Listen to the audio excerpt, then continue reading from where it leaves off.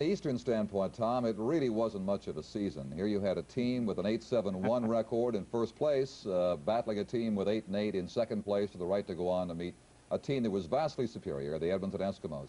Not a vintage year in 80 in the CFL East, but I think that year led to the improvements, the signings you're seeing this time around. And do you feel that the signings of some of the big names like Ferragamo, White Shoes, Johnson, uh, and other people are going to help the East become more competitive with the West. Yeah, it gave them, you know, a chance to be more uh, offensive-minded, which they had to be. The East really was playing very defensive football through 80 and 79 as well, but 80 had reached an all-time low. Now the emphasis on a big-name quarterback, running back, Overstreet from Miami uh, Dolphin draft choice. Uh, some good people around this league now in the East will, I think, highlight the play there. Pat, in the Western Division, of course, you have Edmonton, but you also have some other pretty good football teams with some pretty good football players. Saskatchewan really the only weak link in that division. Yeah, and I'm not sure that Saskatchewan is necessarily a weak link in 1981, but let me say something. It was imperative that the Eastern Conference improve because the CFL has gone to a complete interlocking schedule yeah. this year, which means that the East has to play the Western teams on two occasions, not just the hit and miss that it was last year. So the East has to be much better if there's going to be balance between those two conferences, and believe me, there will be balance, as Don has suggested.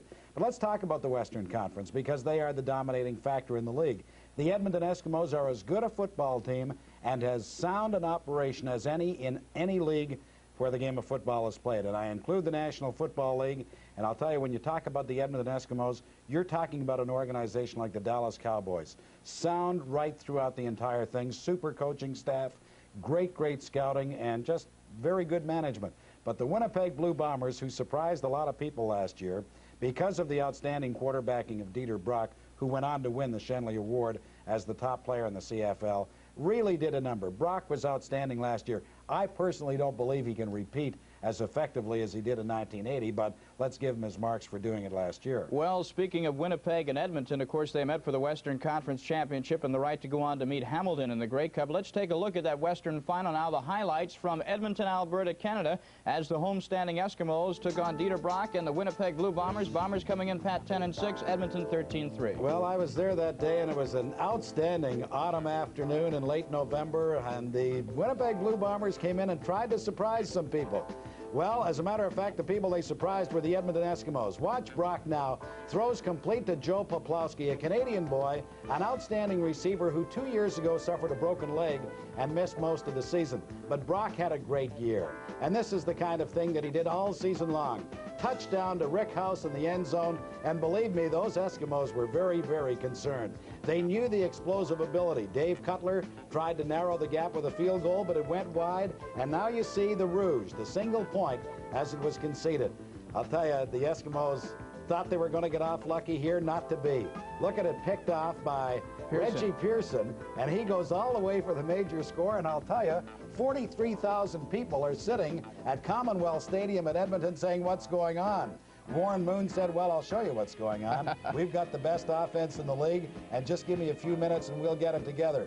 Watch, Brian Fryer down to the one-yard line, and when Edmonton gets that close, there is no way you're going to stop them. This is Jim Germany, an outstanding running back, does his job, gets his 1,000 yards year in and year out, and he really is the primary running threat that the Eskimos have.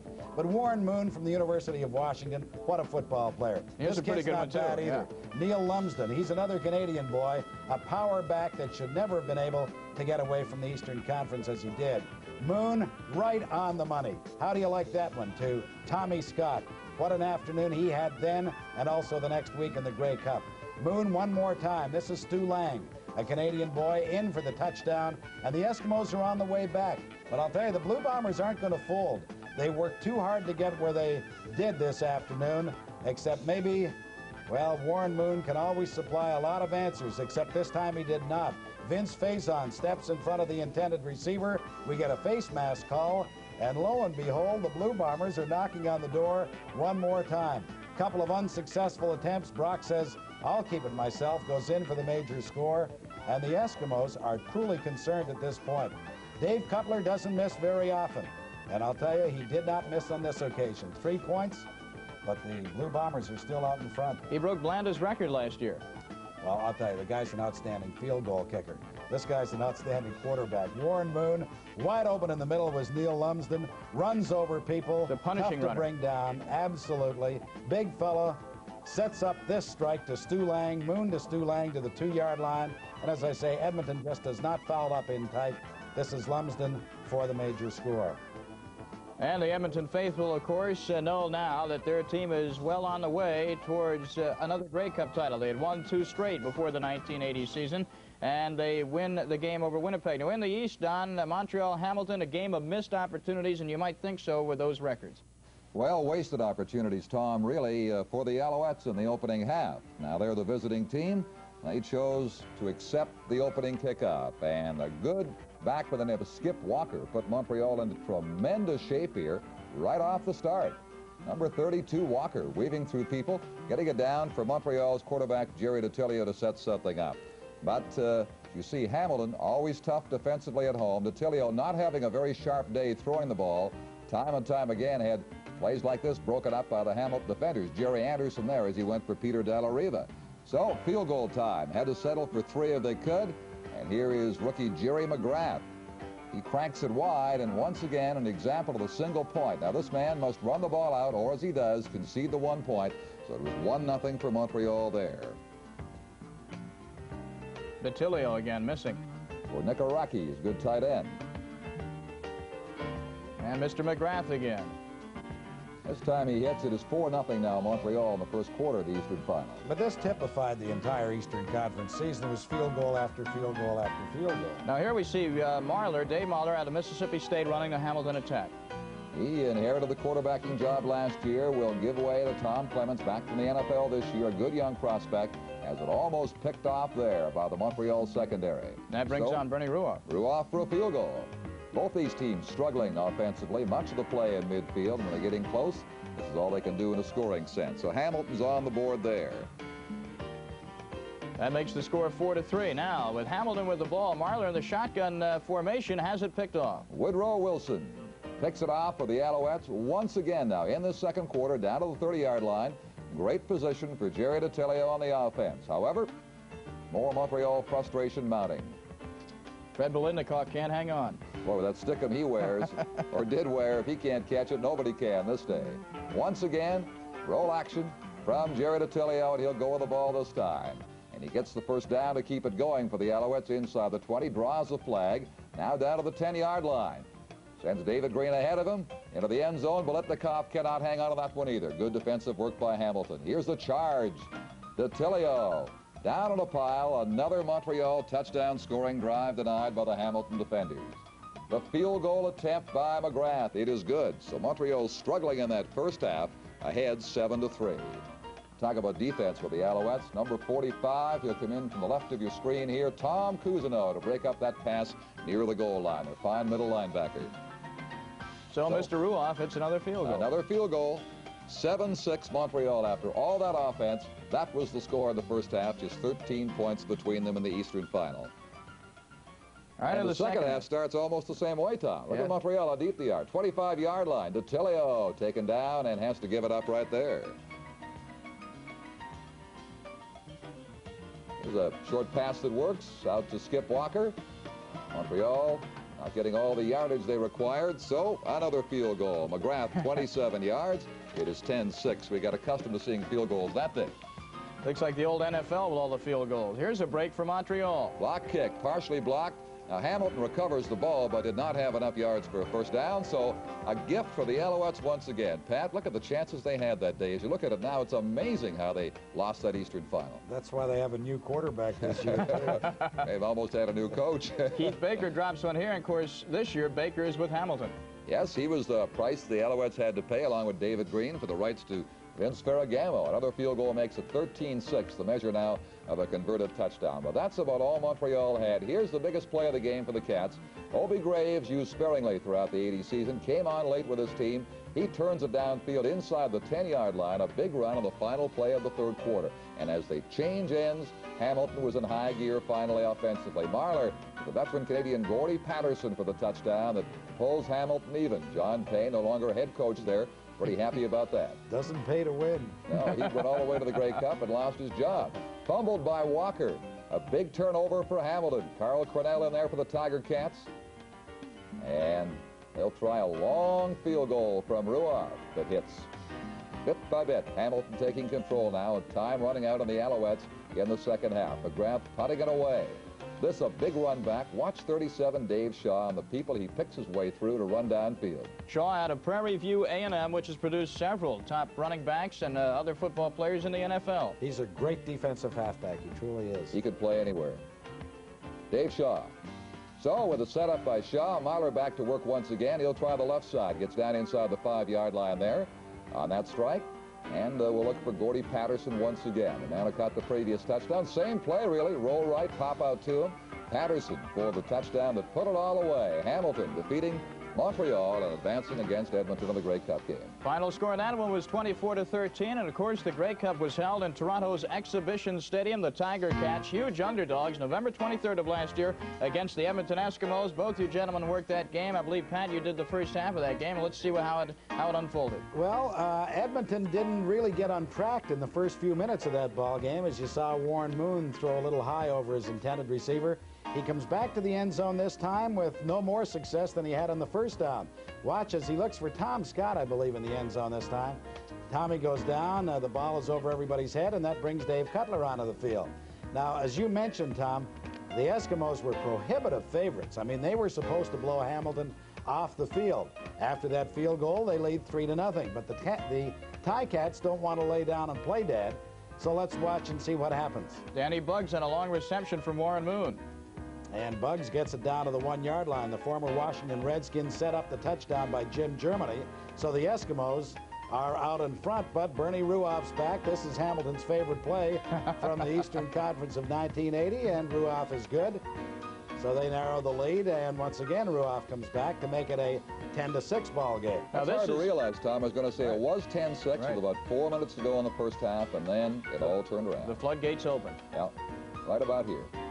Warren Moon will run now. He sees his receivers covered, and of course, this man has some speed from the University of Washington. Led him to a Rose Bowl victory not too uh, long ago. Gets deep inside Hamilton territory. He's quickly establishing himself as the best quarterback in the league, but he's been brought along nice and slowly. That's why he's been so effective. This is Tom Scott, and Scott on this day will score three touchdowns. That was not one of them. But look at the job that Warren Moon does here. And you wonder why he didn't throw the ball. We're going to show you after this play why he decided to keep it. Take a look at some of the action as it goes on deep downfield. Stu Lang here. See Stu you later. meets Harold Woods, and Harold says, how do you do, Stuart? yeah, that's the end of Lang for that particular play. Jim Germany once again will finish off this Edmonton drive. Well, as a matter of fact, he faked it Germany, and then Moon pulled it back, as he did so often at the University of Washington, and was able to get outside, bring it down to the one-yard line where, well, as a matter of fact, they gave him the touchdown, I think, because they well, they were going to until Germany decided, wait a second, I want to be able to carry the ball the next play, and he did. 17-6 at this point. Here's Warren Moon again. See, you've got to be able to do this in the CFL. You're not supposed to fumble, but you've got to be able to scramble when everything else breaks down. All right, Marler trying to strike now after that break, but he'll have his first pass intercepted by Joe Hollimon deep in Edmonton territory, and that was one of the biggest plays of the first half. Now Moon hits Brian Kelly for a 75-yard touchdown shortly after that interception, and all of a sudden it's 24 to 6 with still 2.14 left in the half. And that really was the ball game at that stage. Watch the this play, pulling away. This is a great misdirection play. Just watch. Instead of snapping the ball back to the punter, they uh, direct snap it to the fullback, Neil Lumsden. Dan Kepley throwing the blocks for him, wide open down to the 15-yard line. This is a play we should take a look at one more time. We'll circle the fullback. It's just a straight punt formation. The indirect snap goes to the middle open up there. Yeah, look at Kepley. Number 42 leading. And this action, of course, early in the third quarter as Edmonton came out to really finish the job that most people thought they had in the first half. They are so complete, the football team, as uh, you saw them rub it in a little bit on that last play, and now the conventional offense goes back. Scott, time and time again, as Pat said, three touchdowns on the day. He set a Grey Cup record for receivers by hauling in the three, rolling on the move there. He was knocked down, so he crossed the line, Tom Scott, for one of his majors right there, number 22. He and Warren Moon, of course, teammates at Washington.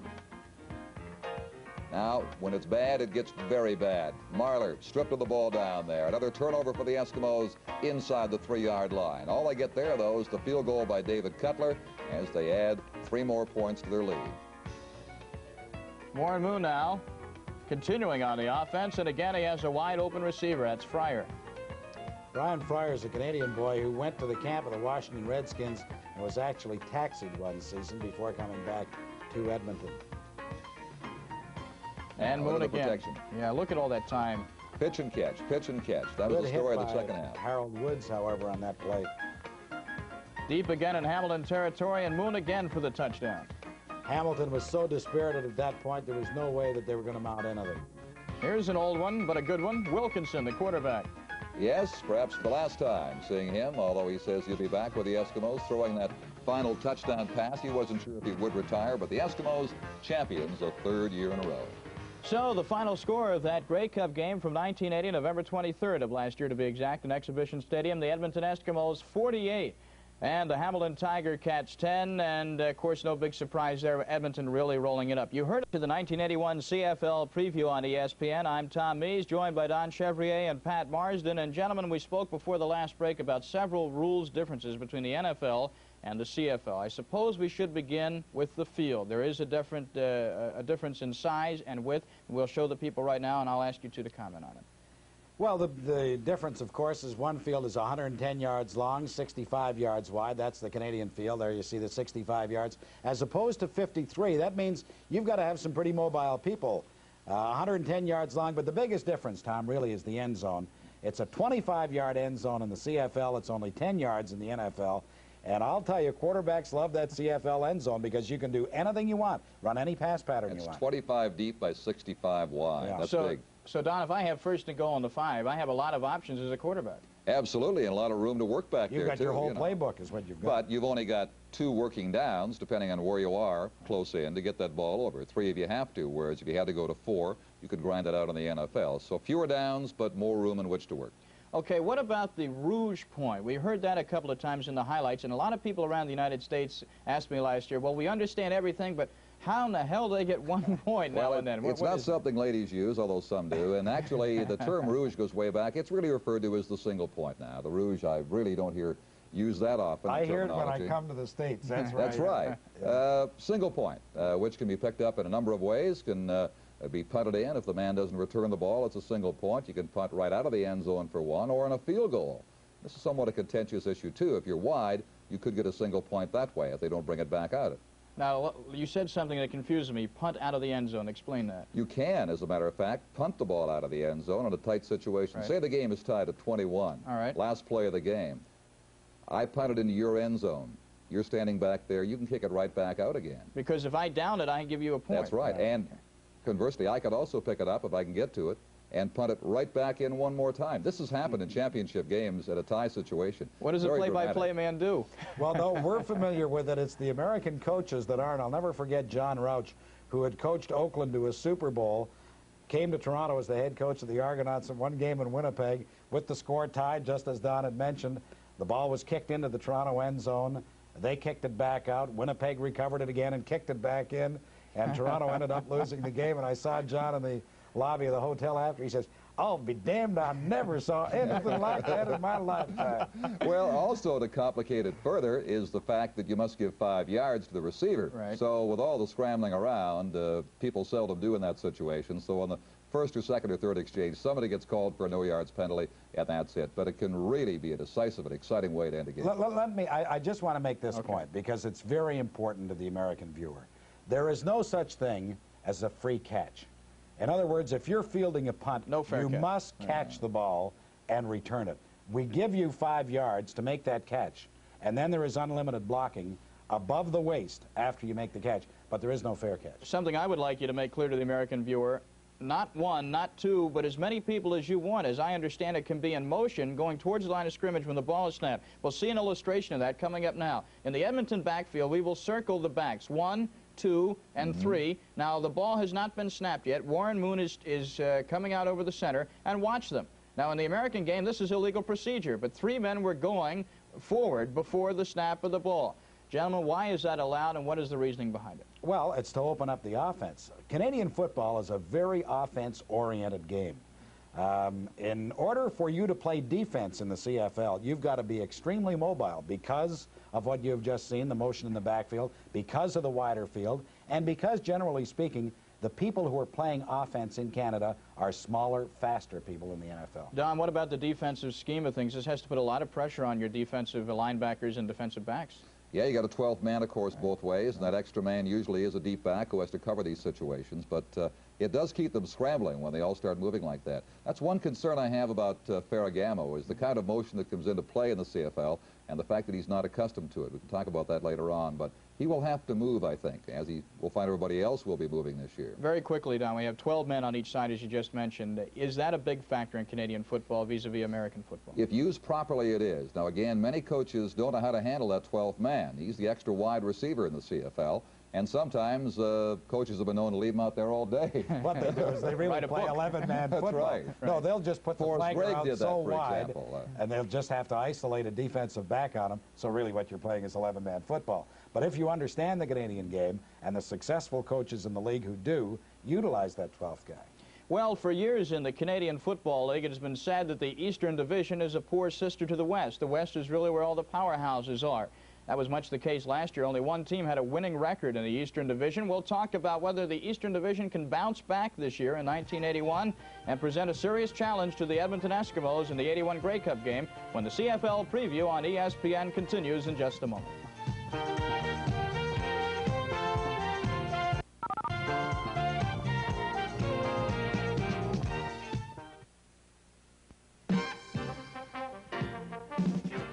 ESPN courts you with Sports Friday.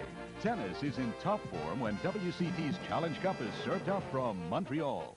Then stay on the ball as Sports Center brings you the latest results from Center Court at Wimbledon. Later, it's the 81 opener of football, Canadian style, as Grey Cup champion Edmonton travels to Ottawa for live professional football from Canada. Catch all the action Friday on ESPN. Throughout the offseason, the big story in football was this man, Vince Ferragamo. Saturday, the former Los Angeles Rams star makes his Canadian Football League debut on ESPN's Professional Football from Canada.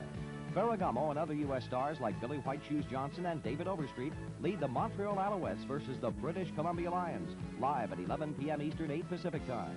Will the Ferragamo to Johnson combo rewrite the CFL record books? Jim Simpson, Paul McGuire, and Fred Biletnikoff will be on hand to bring you the first chapter Saturday.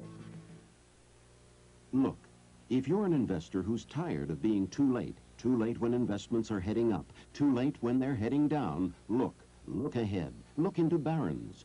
Every week, Barron's gives you page after page of useful investment information, days, weeks, even months ahead. Every week, 34 pages of market statistics, in-depth studies of companies, a dividends and earnings alert on all New York Stock Exchange and Amex stocks, exclusive analyses covering the whole world of investing. All you need to know not to be too late every week in Barron's. If you call this toll-free number now, you can get 20 weeks of Barron's for just $21. Call right now, and you'll also get free Understanding Technical Forecasting, an informative booklet that shows you how professionals use Barron's. 20 weeks of Barron's plus this revealing booklet for only $21. Look ahead. Look into Barron's. Call 800-528-6050 now, before it's too late.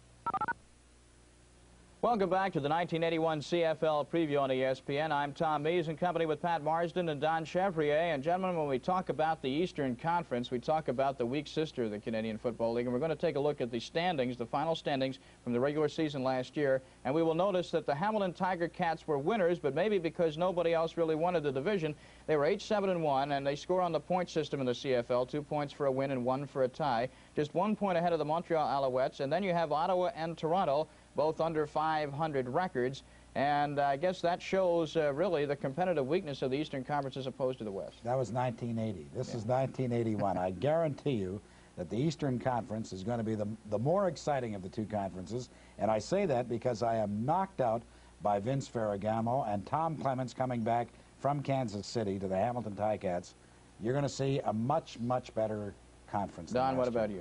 I agree. You'll see, uh, because they have had to emphasize offense to sell tickets, uh, the fans really were staying away toward the end of last season.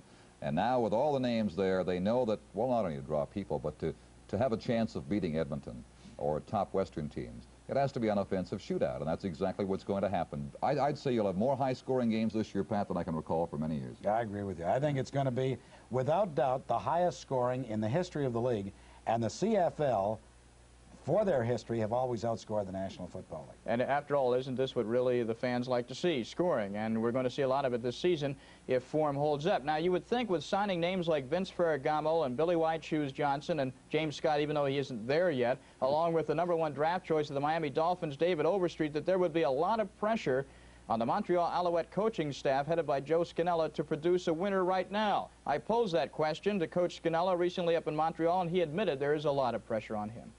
I think there's a tremendous amount of pressure. I've been under pressure since I've first been here. The first year I came in, they came off a Grey Cup victory, uh, a big victory, and uh, Marv Levy had done a tremendous job with the team.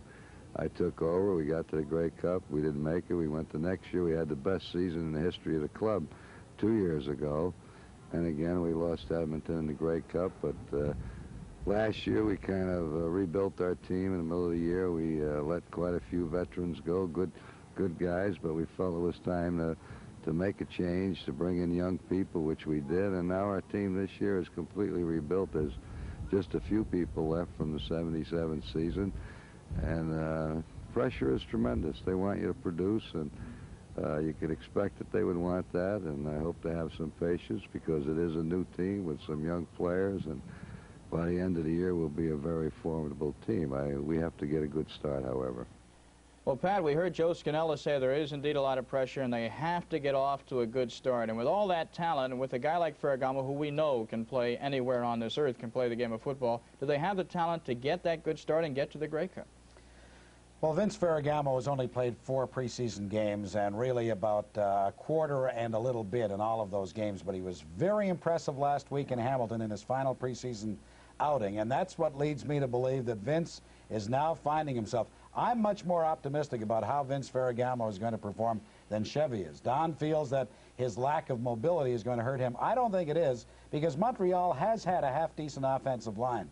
I'm going to make this prediction for all you American viewers. Vince Ferragamo will throw a minimum of 25 touchdown passes, and when he sees that 25-yard deep end zone, he's going to think he's died and gone to heaven. You sound like his agent, the yeah. way you're... well, I was talking to him yesterday. He's enthused, so it's rubbed off. Don, what about, about your question about the mobility of Ferragamo? Well, certainly we saw how mobile a quarterback like Warren Moon is for Edmonton. Yes, you've got to sprint out of trouble and uh, ad-lib, as they say in this trade. Because of the wide field, because of the pressures on you defensively, uh, because of the fact that plays can get broken up very easily, and you've got to scramble. Uh, the greatest quarterbacks in the history of the CFL were scrambling quarterbacks. Russ Jackson, Ron Lancaster, uh, people that can move the ball. Joe Theismann liked to run around pretty well and does it down guy in the by NFL. the name of Tobin Rote and another one by the name of Sam Etcheverry that threw the ball very effectively and had a great deal of success. Yes, they did. Uh, Etcheverry in particular with a long and uh, outstanding career up there. I'm not saying Ferragamo won't do well. I agree with Pat. He will. But I want to reserve comment until I can see how he does handle the pressure when he has to bail out of that pocket and fend for himself. That's what I want to see first. Okay, now let's get to the Hamilton Tiger Cats. They are the defending Eastern Division champion. They have a, a new coach in Frank Kush. How is Kush going to do, and how are the Tiger Cats going to do with, with Tom Clements back at the helm? Well, everybody seems to think that the Eastern Conference has been awarded to the Montreal Alouettes. I wouldn't do that. First of all, as everybody knows, Frank Kush is a tremendous coach. He has gotten back this year Tom Clements, to me, one of the great quarterbacks in the CFL. They've got uh, David Green, who, in my estimation, is the best running back in the league. Keith Baker has come across from Montreal, blinding speed, and they had the best defense in the Eastern Conference last year. So, I mean, Hamilton can very well win the Eastern Conference and knock off the Alouettes. Don, what about the Toronto Argonauts? Uh, poor Toronto, they've really been under the gun for how long? It seems years and years and Only years. Only 30 years or so since they have won a Grey Cup. They were in one about uh, 10 years ago, as a matter of fact. Didn't quite win it, lost in the last couple of minutes. A new uh, running back named Cedric Minter out of Idaho. Outstanding. Terry Metcalf type, perhaps sturdier. Great moves. He'll be exciting.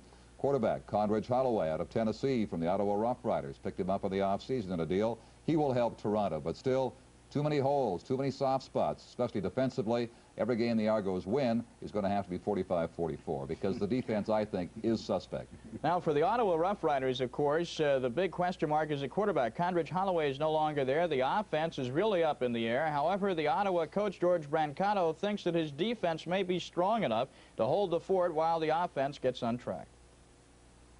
Defensively, we were a lot stronger than we were last year, and uh, our defensive backs, uh, if they continue to improve and keep playing together the way they do, I think they'll be as good as anybody in the East. So I think right now we have to really bank on our defense until our quarterbacks develop and get our offense moving. What about the quarterbacks with Condredge now gone? Who has uh, surprised you there, or have all three impressed?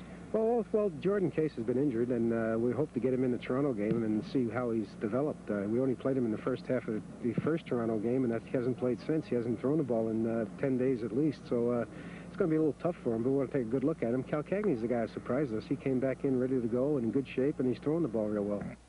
Pat, what about uh, the situation with the Ottawa Rough Riders? Well, I'll tell George Brancato's a tough little guy from Brooklyn, and his defense just epitomizes what he's all about.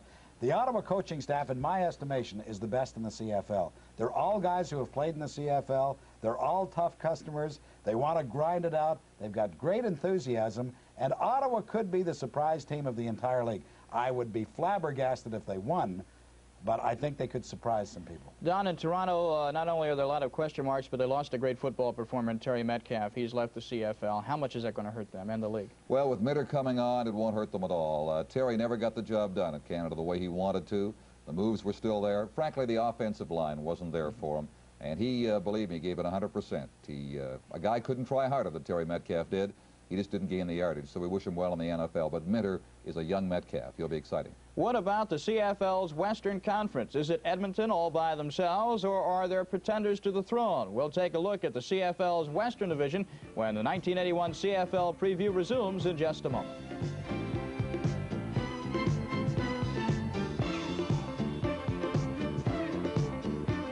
What will happen to interest rates this year? How will Washington and international events affect your pocketbook?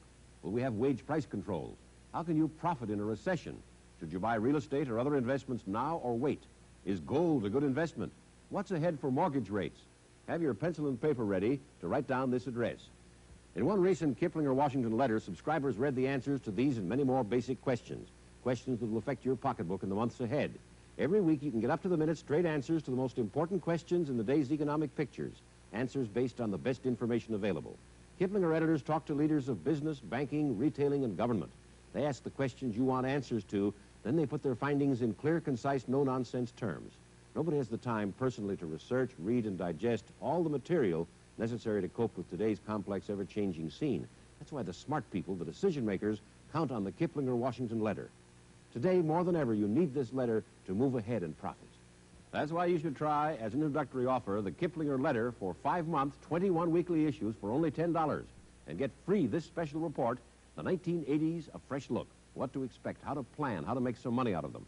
It's yours free when you try the Washington letter for five months, 21 weekly issues. And that's not all. When you send your check today, you also get this analytical report on how to deal with inflation, owning your own business, real estate, should you buy gold, gems, bonds, a checklist of things to look for in stocks sound, down-to-earth judgment and advice. Most readers say they can't do without it, so don't miss out. Send your $10 to Kiplinger, Box 121, Plainville, Connecticut 06062. If you don't make or save many times the $10, you keep these two valuable reports, the 1980s, A Fresh Look, and How to Deal with Inflation, and we'll refund the unused portion of your subscription. Isn't that fair enough? This could be the wisest investment you've ever made, so take advantage today by sending $10 to Kiplinger, Box 121, Plainville, Connecticut 06062.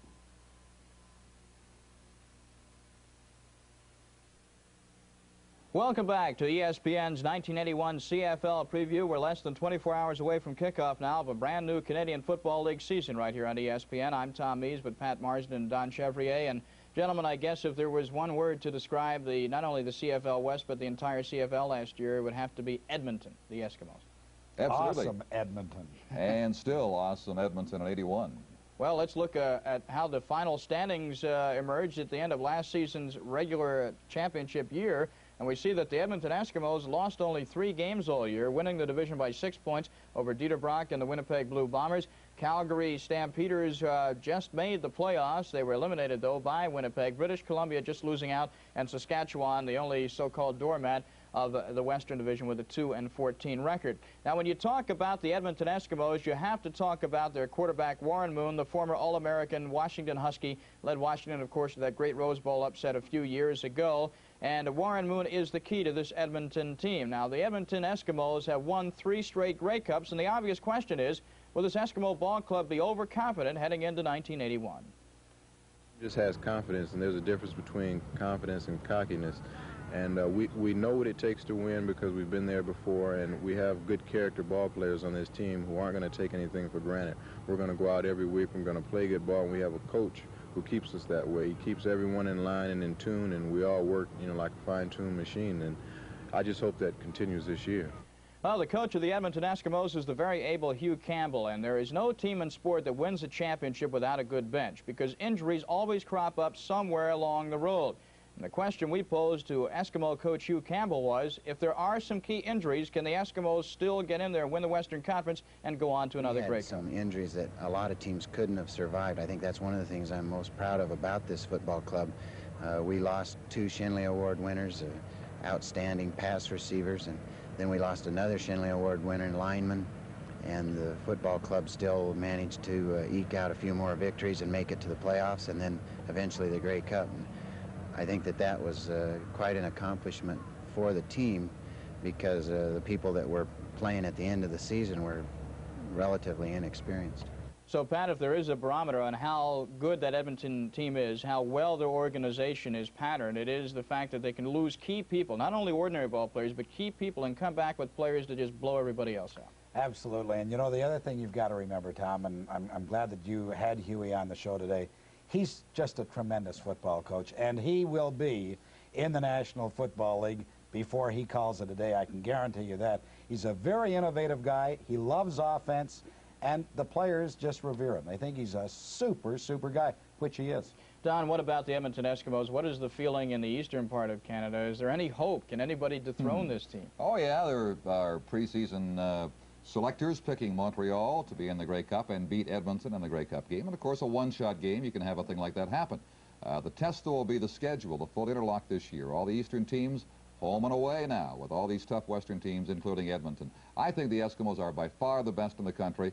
I think certainly they may have an easier time in the West than before, but as Pat says, the East will improve so much this year that come Grey Cup time, it will not be a cinch for the Eskimos. What about the other teams in the Western Conference? Calgary is no slouch. They're a very good team. Uh, British Columbia, if they are healthy, can play with anyone, and Saskatchewan is much improved. Well, I see a team, uh, you know, in decline. Saskatchewan still struggling. Mm -hmm. A team like Winnipeg, I think, has leveled off, perhaps. Uh, they had a good finish to last year. They were, I think, the second best team in the country uh, in November before the Grey Cup game. No question. You've got the BC Lions improving. Calgary in decline as well, I think. The Stampeders might have peaked come back, and now I think they're going to have a rough season. Pat may agree or disagree. What about Ardell Wiegandt's situation out there? Well, Ardell is obviously under the gun because he took over from a very popular guy, Jack Gotta, who had coached in the World Football League and had been the general manager of Birmingham. Jack is now the general manager of the Calgary Club. He passed the reins on to Ardell, who's in a tough job. There's no question about it. As Chevy said, they climb the mountain and maybe they're getting ready to slide down a little bit. But I want to say this much. The Edmonton Eskimos are in a class by themselves. There's no doubt about that. But I think everybody else in the Western Conference is now in the same class as the top teams in the Eastern Conference. That's why the league is going to be so interesting. Let me ask both of you gentlemen's opinion about one player in particular. He was uh, voted the top player in Canada last year, Dieter Brock, the quarterback with the Winnipeg Blue Bombers. Uh, went to a small college here in the United States, Jacksonville, state of Alabama, known as the Mad Bomber, sort of like the Daryle Lamonica, if you will, the CFL. Is he that good? Is he on the decline, or is he no, going to get better? He's got a great arm. Uh, I can't, unless the man simply comes up flat this year, and I can't imagine that happening.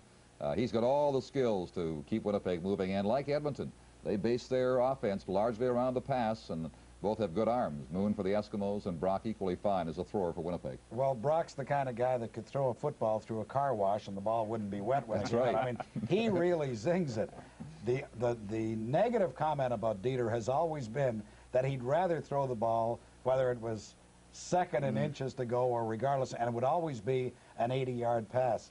he seems to have leveled off a little bit and has more control of his emotions. In the NFL, we hear of the throw-in Samoan, Jack Thompson with Cincinnati. We have another Samoan quarterback with the He's BC Lions, Joe Paopao. What a name. Well, uh, Joe has got a great name and he's a pretty good quarterback. Unfortunately, they can't keep him together. He was injured on two separate occasions last year, missed a total of 10 games. I mean, you cannot have your starting quarterback go down like that.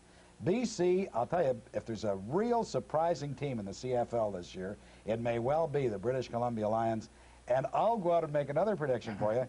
The Lions, at some game this year, will beat the Edmonton Eskimos. I don't know when it's going to happen, whether it'll be in a playoff game or regular season. They will beat Edmonton because they have the potential to be an outstanding football club. A word about the Saskatchewan Roughriders uh, in Regina. Is there any hope for a 500 season maybe this year? No, no. I don't think so. They were 2 and 14 last year. They may win six games this year, but I'm afraid it'll take more time. Last place is still theirs. All right. Well, uh, apparently there is hope for the future in Regina, but exa not exactly at the present. There are many, many uh, issues concerning Canadian football play that we have yet to touch on. The CFL has made more preseason news this year in the United States than it has in many, many years. A lot of personalities to deal with. We'll be back to kick it around a little bit more on the 1981 CFL preview in just a moment.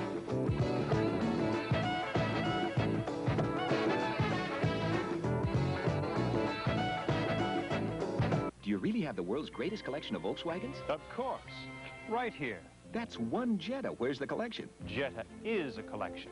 It handles like a Scirocco. Uh-huh. It's roomy like a Dasher. Yeah? It gets terrific mileage like a Rabbit. And of course, it has fuel injection and front-wheel drive. Jetta even has a huge trunk. I'm surprised no one came out with a car like Jetta before Volkswagen. Really? I'm not. All our best ideas in one car. Jetta. You're on the right track for exciting Auto Racing 81 Wednesdays on ESPN. Join Bob Jenkins and Larry Nuber for USAC Sprint and Midget competition, as well as NASCAR IMSA and dirt races. Auto Racing 81 is bigger and better than ever, and it's right here each Wednesday on ESPN. ESPN is your ticket to total sports. Saturday, international diving takes the plunge with the U.S. versus the People's Republic of China. ESPN's July calendar is headlined by professional football from Canada, Davis Cup tennis, and AAA baseball during the strike. Former Ram Vince Ferragamo and his Montreal teammates signal a second big season of CFL action. Jimmy Connors and John McEnroe lead the United States against Czechoslovakia in three straight days of live Davis Cup play. We'll drive you right up to this year's British Open with highlights from the past 10. There's four more live NASL games and the British Soccer Championships. There's Grand Prix racing from Spain and South Africa, the WCT Challenge from Montreal, U.S. versus People's Republic of China diving, and a new CFL Weekly highlight show. You'll see boxing's USA Junior Olympic and Western Amateur Championships, women's softball, and kart auto racing. July means ESPN favorites, top ranked boxing, sports talk, auto racing 81, NASL Weekly, PBA bowling, Australian rules football, PKA karate, and of course, Sports Center. July is another hot month of sports on ESPN. Welcome back to the 1981 CFL preview. I'm Tom Mees with Pat Marsden and Don Chevrier. And gentlemen, the one man who has made more news for the CFL in the United States this year than anyone else has to be Nelson Skalbania, the Canadian businessman who I think wants a piece of the action in every league in every country with his Montreal Alouettes. You talk about Vince Ferragamo, you talk about Billy White Shoes Johnson, James Scott, who is still nowhere around, and let's not forget David Overstreet. Is his impact on the game and the Canadian game, is it good for the game, bad for the game, and why? I think it's good. Um, I think it's great. It'll bring people out. It'll create excitement and, and names and a greater following for the CFL. And as you said, the attention in, the, in this country that I think CFL may have lacked over the years. Names certainly draw attention, and they have it now, and I'd love to see it keep going. What concerns me is the other element who say that he's pricing us out of the league. He's, he's forcing demands on us, this is other team owners talking now, Right. that we may not be able to meet. I think those people will adjust. I hope they will because I see it as a very positive move. Is that a good argument, Pat? The other owners saying, hey, you're driving up our salary uh, scale, our structure. We're going to have to pay mediocre players big bucks now. You know what it's like? It's George Steinbrenner, the Yankees, Griffiths of the Minnesota Twins. I mean, uh, if you want to develop your own ball players, I suppose you can keep the salary cost down. If you want to go out and acquire the top names, it's going to cost you extra money. Nelson Skalbania has 30,000 seats that he hasn't been able to sell in Montreal, and he's hoping that Vince Ferragamo, Billy White Shoes Johnson, David Overstreet, AL can do the job. If they can, he's a genius. Mm-hmm. What and, and, I think he can. You think he can? You don't think there's any doubt that, that, that he's going to have that stadium sold out? Well, I'll tell you what my doubt is. My doubt is that I'm not convinced that Montreal is a great football city. It's a super major league town, right. but I don't think that football is their game. In Toronto, those three guys would sell out CNE Stadium every single game. And the reason for that is why? Toronto is a super sports town that has no bounds, really, uh, except for perhaps soccer. Mm -hmm. That's the only exception I would make to that. The soccer team not playing well, not drawing well. Canadian football, very popular there. NFL football on television, extremely popular in Toronto. Baseball, the Blue Jays, a losing team. 1.5 million they've averaged the first four years of existence. Hockey, Maple Leafs, a terrible hockey team, sold out throughout the season. A good sports team. But just to get back to your question, there is definitely uh, some negatives about Skalbania spending this kind of money. The, the Canadian Football League is a tremendous entity, but it does have limits on the kind of bread that it can spend. And Montreal is in a totally different position than a team like Ottawa. I mean, Ottawa cannot go out and sign a $400,000 quarterback. Montreal can, but that's fine. I don't care about the economics. I've seen so much dull football in the Eastern Conference in the last 10 years that I'm really looking forward to this season, and that's all I care about. Another guy who's going to liven things up in the Eastern Conference, Frank Kush. And we all know his past at Arizona State. He's second only to Bear Bryant in winning percentage, and yet he was fired there because of various legal uh, items that came up. A former punter claimed that he punched them, and he's gone to court. He's been absolved of that charge. Mm -hmm. uh, he's finding a new life in the CFL. How do you think he's going to do? He's a good, solid football coach, no question about that. Techniques may be questionable somehow. I think he'll make the adjustment to the pros because you can't treat pros the same as you treat college players. Different age level, different mentality, different outlook. These guys have been around a little bit. Once he makes that adjustment, which I think he will, he's tough though. Mm -hmm. He's not the uh, the kind of guy you want to have a couple of beers with every night. No. I mean, he is the boss, and that's the way it works. Once the players accept that if they do, they'll be a good team. If they don't, Hamilton could have a dissension problem, I think. There's only one thing. The Hamilton Tiger Cats are an experienced football team. They've got experience at the quarterback spot. They've got experience at the running back spot. They have a good core of veterans, the kind of veterans that Frank Kush can relate to. Frank Kush only asks one thing. Do the job when you're on the field. And if you do that job, you're going to get along fine with Frank Kush. That's why he was so successful at Arizona State. That's why I'm told he came within an eyelash of getting the Baltimore Colts job. And I think that's why he'll be great in Hamilton. Hamilton is a team to be reckoned with. In about 30 seconds, if I could, a quick comment from each of you on the style of play, the caliber of play, the athletes in the CFL versus the NFL. Ah, uh, different style, brought about by rules, dictated by rules. Um, we were talking off air a moment ago about NFL players could all make it in Canada. They couldn't. Different demands are placed on them. Different size, uh, mobility, again, that word, very important with a wide field. Uh, big differences. I guess we haven't got time to go into them all, but they exist. Pat? Well, they do exist simply because you're looking for speed in the CFL and you're looking for size in the National Football League. Terry Metcalf came off um, one of the greatest seasons in the history of National Football League play, came to the CFL, didn't do the job, not because he didn't try hard. Totally different games. A middle linebacker in the CFL has far greater demands on his abilities rather than his size than a middle linebacker in the NFL. Different games, both great. I think the CFL's is more exciting. Well, in just a few hours, a brand new season kicks off, and the CFL for 1981 will be carrying two games this big July 4th weekend on ESPN, and we'll tell you all about them and more when the 1981 CFL preview continues right after this word.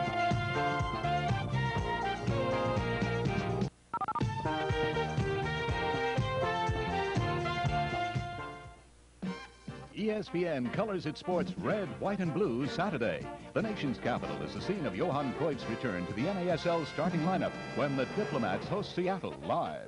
After SportsCenter, it's the national pastime on Independence Day as Evansville meets Indianapolis in AAA baseball. Then American exports Vince Ferragamo and White Shoes Johnson make their CFL regular season debut when Montreal visits British Columbia. Celebrate over eight straight hours of live sports July 4th on ESPN. ESPN takes you to the birthplace of golf to relive the great moments of the British Open Championships of the past decade.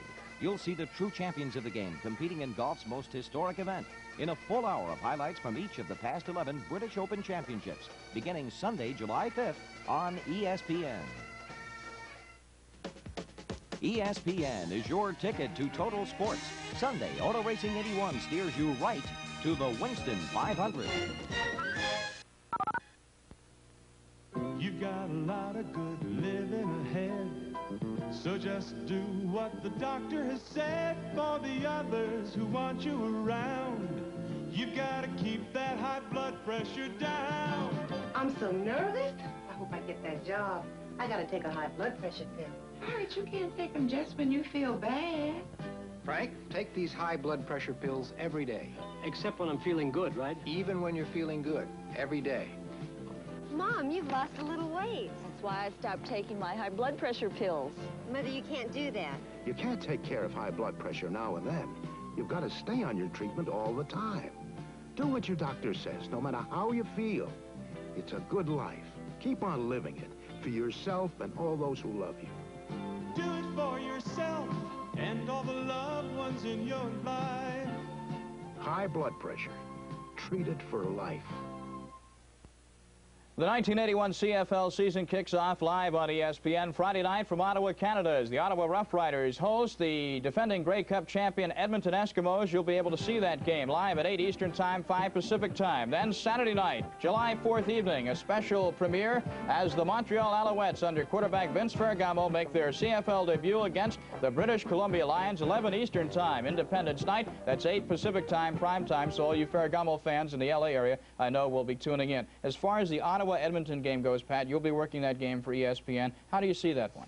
Well, it should be a foregone conclusion that Edmonton should win it, but let me pass along this statistic for you. Ottawa has beaten the Eskimos five of the last six times they've met. The Ottawa defense is a gambling one, and Edmonton really has never been able to figure them out. So I think that the Eskimos will have their hands full. They should be the favorites, but I don't think it'll be a cakewalk.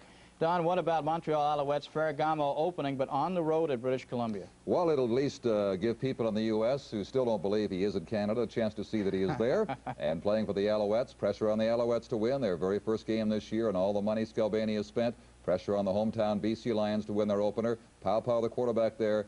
Some great personalities, a great matchup, a lot of points will go up on the board. Don Chevrier, thank you for coming down from the Toronto area to be with us on the CFL preview, and we'll, we look forward to seeing you throughout the season. Thank you, Tom. Nice to be here. And Pat Marsden as well. We look forward to hearing your play-by-play throughout the CFL season. Thanks for being with us. Well, I'm looking forward to the season. I'll certainly look forward to seeing you again, too. Tom. It should be an exciting season. I think we all three agree to that. The CFL season kicking off Friday night on ESPN. You've been watching the 1981 CFL preview. I'm Tom Mees for Pat Marsden and Don Chevrier.